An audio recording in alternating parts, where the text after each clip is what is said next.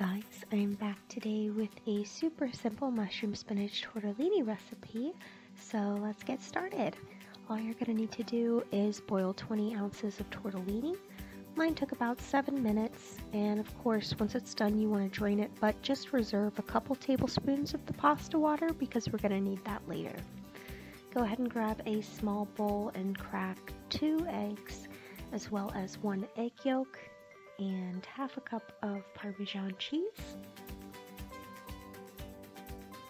We're going to give that a bit of a stir and then set that aside as well. Go ahead and grab the original pot that you used to boil your tortellini and add just a bit of olive oil. Go ahead and add 8 ounces of quartered mushrooms as well as half of a yellow onion and a bit of salt pepper to taste. I probably used about a fourth teaspoon of each here. Just go ahead and then give that a stir and cook for 2 minutes.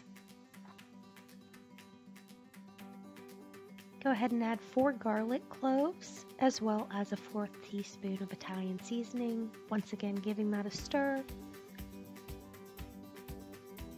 Go ahead and add a six ounce bag of spinach. And what we're basically going to do here is just continue to cook that on medium heat and stir constantly until it all wilts down.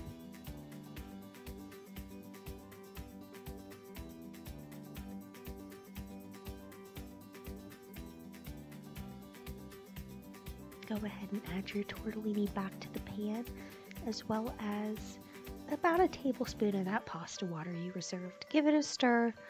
If you want it a little bit saucier, go ahead and add a bit more. But we're going to go ahead and add that egg and Parmesan cheese mixture to our pasta. This is going to work with the pasta water to create your sauce. Just go ahead and give that a stir.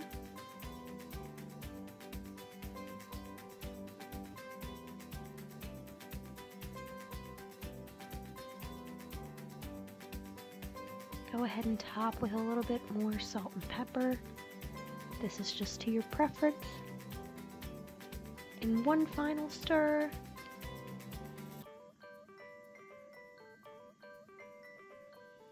Go ahead and serve that up and add a little bit more freshly grated Parmesan cheese.